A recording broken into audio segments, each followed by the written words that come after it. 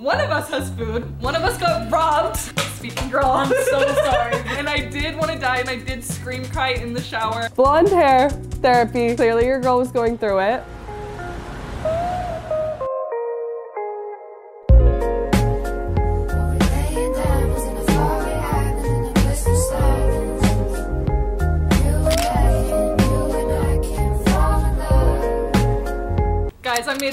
Made it to Sahar's. It's 3.57. She's like, should we drink wine? And I was like, Happy yeah. hour somewhere.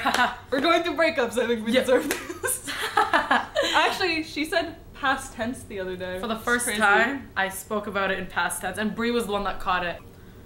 Brie stole the last of my Riesling. You told me I could have it! Where's the evidence? Is there footage of I wasn't recording at that point. But it's okay. Brie can have the better one because she's still going through it, and for me, it's in the. I feel like people think that I broke up first. Yeah, But because you- post. This girl is so crazy. She posted about it five minutes after the breakup. Okay, five days. It's been a month and a half. It's officially a month and a half today. I'm like out here being like, I'm not ready to talk about it yet. Whatever. She's like, oh, okay, I'm gonna post about my, mine like tomorrow. I'm like, oh. Okay, our our breakups were very different, and the, They- I had my mental breakdown a little delayed. a little I had mine immediately. See, at first I was kind we'll get into it more, but I was confused because I was kind of fine. Actually, I was really sad for the first three days, but after that I was kind of fine. You were so good. It was scaring me. I think it was 10 days after is when I had my breaking point, and I did want to die, and I did scream cry in the shower on the ground. okay, amazing. So, so we dealt with the emotions eventually. But right now we're gonna order some Uber Eats. Yes. So we can have a little mukbang moment. I want something healthy, trying to glow up. See, she's entering this phase of the breakup See, right at now. first I did not care. She was going crazy with the gym, and I was just like, "Where's this? I want that, but No. I didn't want to do it." Yeah, no, literally the way I'm like legit. I'm not kidding, guys. I was like, I would be just like crying during my workouts. She was going to boxing classes, like getting her anger out, and I was just like rotting on the couch. Yeah, I was literally. like, "Can I have that type of breakup?" But literally. I'm entering. I'm just like, "Oh my god!" I entered the phase where I want to change my hair. I had that phase, That only lasted 30 seconds for me, but like for you, I feel like I sent her photos of what I'm thinking about doing. I'm. s- I feel like I'm so attached to your red hair that I'm I like know, scared. but I can't. I don't. I don't know if I see it for myself forever. We're thinking about it. Ooh, Chipotle could be kind of good. I literally had Chipotle yesterday. Really? It was really good. Ugh, Get I haven't had it in a long time. Would you get a bowl or a burrito? bowl.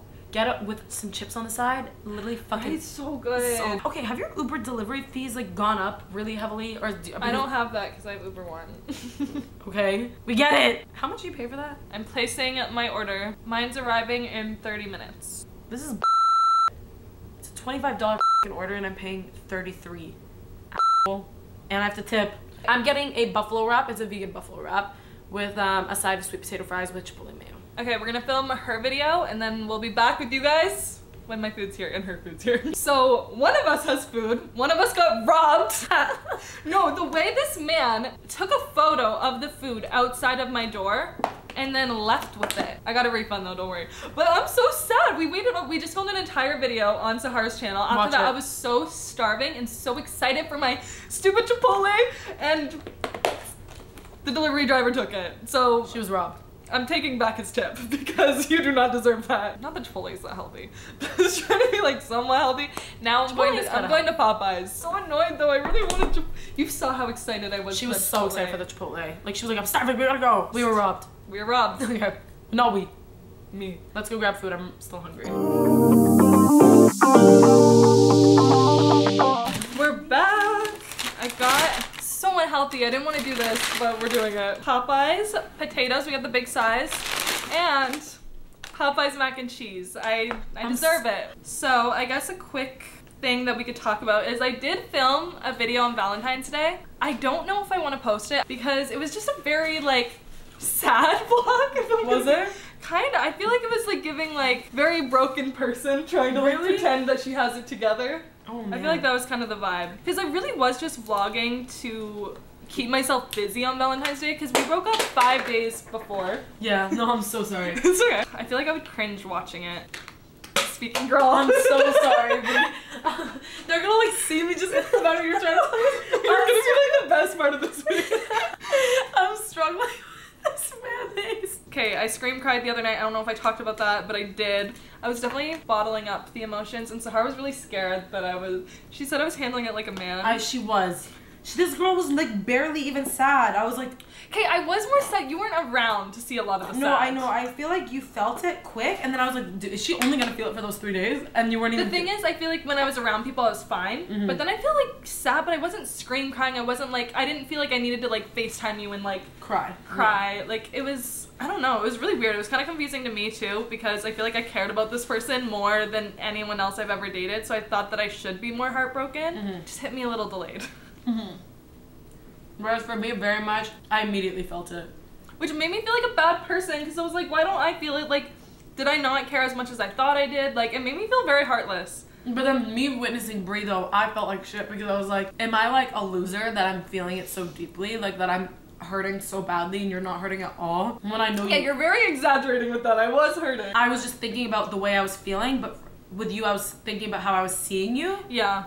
That it was like, is she just not okay? I thought it was just because there was no betrayal that I was like, oh yeah, I'm like fine. But um, turns out it does still hurt. It just might hit you a little. Breakups are just confusing. That's the number one. Yeah. And like we kept sending each other like the charts of like the breakup process, and then we're like, why are we experiencing it so, So differently? differently, yeah. She's six weeks in. I'm three weeks in. Mhm. And it's just like our our order of emotions has been so different that I was like, these charts are not real. Mhm. Maybe you hit all the stages, but not in the same order. You also just started bettering yourself so quickly. And I was like, why am I not, like, I just want to rot on this couch and, like, not do anything. Like, the idea of making any kind of plans made me want to die. But then, because I had nothing going on, I also wanted to die. Mhm. It's an interesting thing. So I was like, I wanted to do things, but then I didn't want to leave the house. But then I did want to leave the house. I didn't know what I wanted. And then I was looking at you. I'm like, she's grinding out her content. She's living her life. She's thriving. She's doing so good. Like, not even, like, didn't seem like you were hurting. Like, that kind of stuff. That I was like, why am I doing so bad? Like, Well, like, on day, I'm trying to think, when was it that we did the Super Bowl thing? Was that day three of my that was day three of your breakup, yeah. Remember? Everyone kind of expected me to be heartbroken. And I was like, I'm kind of not. So it would have felt very performative Yeah. if I was like acting super hurt when I honestly felt fine. But I think it was just that immediate relief. Yeah. And then once we were also texting at that point. I think once we stopped texting is when I lost like the connection and I felt it really heavily. So hard.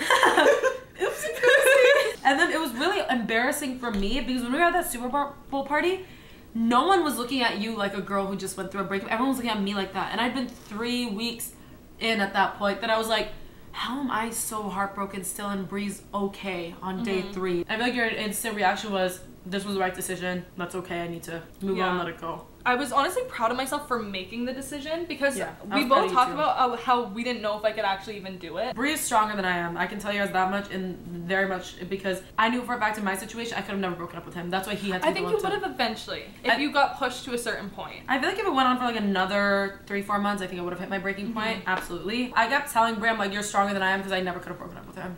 But towards the end, when I actually broke up, whether or not we stayed together, I wasn't able to see him. Yeah. So it kind of like it was like I'm gonna have a pen pal or I'm gonna be single. Uh, I think that also made it easier knowing that I wasn't gonna see him. It wasn't like way. yeah. It wasn't like. I was spending Valentine's Day alone either way. Mm-hmm. So at least it wasn't like a he could be here right. No, he couldn't.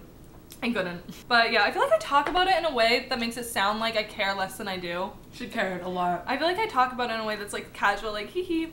But that's just how I deal with things, okay? You're getting defensive. Because I'm just like, also, if he happens to watch this, I don't think he will. I don't want him to be like, she's talking about it so nonchalantly. But it's like, I feel it. I just cope by speaking in the way I'm speaking. And I think Brie is really good at like diving into her work. I can pick one priority and that's it though. And honestly, I did the same thing. I did exercise. Like Yeah. working out was my priority. You also had school. I also did have school. So I it would have been a lot for you to keep up with everything. Bro, I remember when I was in school, I was like, I had this one mental breakdown. I think it was two weeks after my breakup. I was trying to do statistics, which is so fucking hard, okay? And I could not for the life of me figure it out. And I just started sobbing and scream crying and talking to myself, being like, statistics is hard enough. Statistics, statistics while going through a breakup is impossible.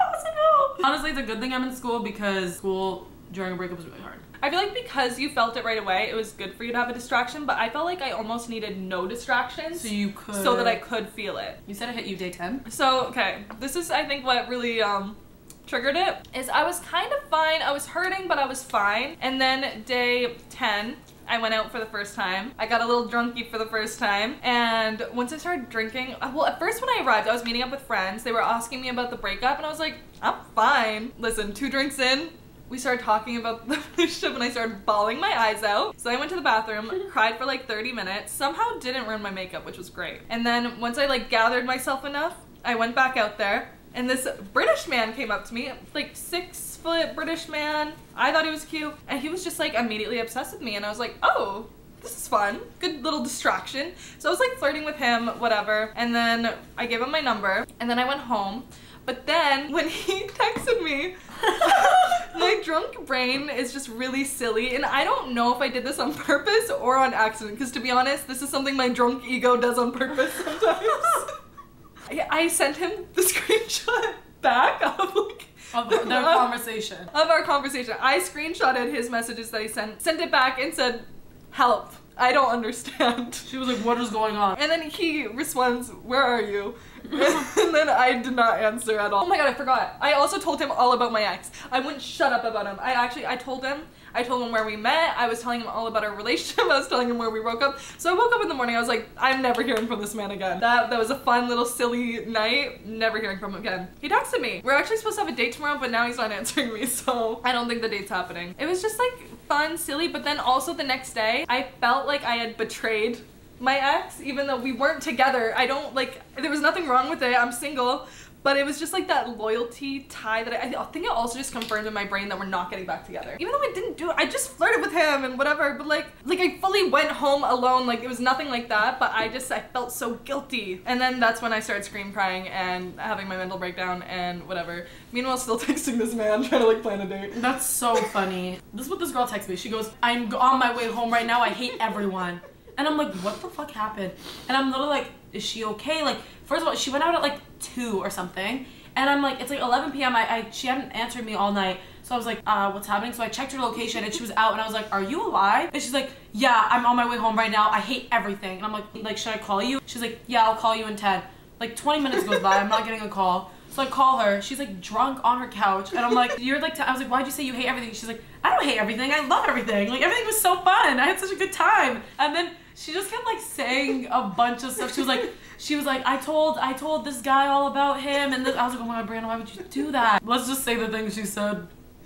She shouldn't have said. I was definitely getting drunk oversharing. Very much. But I mean, if he texted you in the morning, he found Which it, is crazy. Why would it- he text me? he found it charming. Where is he? He hasn't texted me in two days. I feel like I'll text you tomorrow. Nah, I don't really care. Okay, I have a nail appointment in like five minutes though, so I'm gonna finish eating this and then I'm gonna go.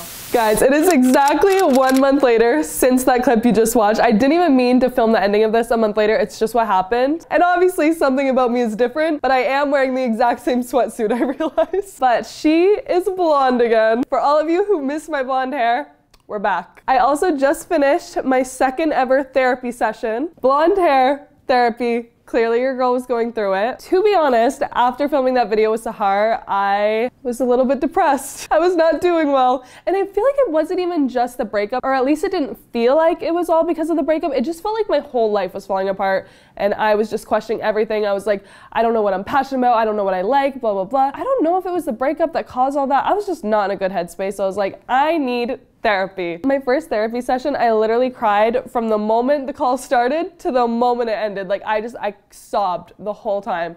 And then this one, we, we ended the session early because I had like nothing to talk about. I was everything was good. And she's like, we could do bi-weekly calls instead of weekly if you want. And I was like, yeah, I guess we could do that. I don't know what's going on. I don't think I can heal in a week, but why does it feel like I did? I don't know. Life's weird. I know healing isn't linear, so I feel great right now. Maybe next week I won't feel as great. I'm hoping this continues though. I feel like I have a lot of things to look forward to right now. A lot of things are going right. I'm feeling more confident and like myself again and I just feel like the work that I put in for that month of like reflecting, journaling, working out, therapy, dyeing my hair to start a new era, I feel like it's actually paying off. Like, you know, you put the work in and then suddenly your mental health improves.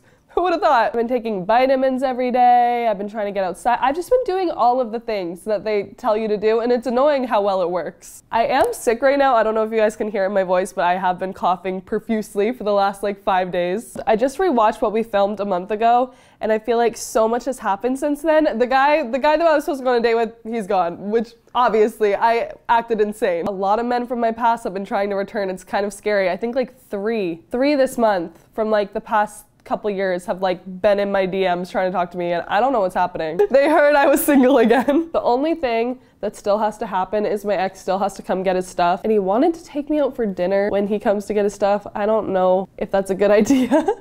we like text occasionally. We'll text like once a week, once every 2 weeks kind of thing. But yeah, I don't know. I don't know if I should let him take me out for dinner. That seems like a bad idea. But yeah, those are my updates. It gets better, even though in those moments I genuinely was like, I don't know how it could get better. Like, I don't know how to get rid of this feeling. It feels like a feeling that I'm just gonna feel for the rest of my life, but it doesn't last. And I'm, I was so confused because I was like, I don't know. Like, when you feel like you have no purpose or nothing motivates you, you're like, what is the solution to this? How do I fix this? My advice, not from a professional, is just to kind of like put your head down and focus on the things that everyone tells you will help, even if you don't understand how it's gonna help. Go work out, journal, take your vitamins, go to therapy. Just like if you do that long enough, suddenly you look around and you're like, wait, I don't I don't feel the way I did before. I feel like that's especially true when it's something situational in your life that's making you feel that way, like for me going through a breakup. So if you're going through a breakup, you got this, and I love you, and I'll see you in my next video.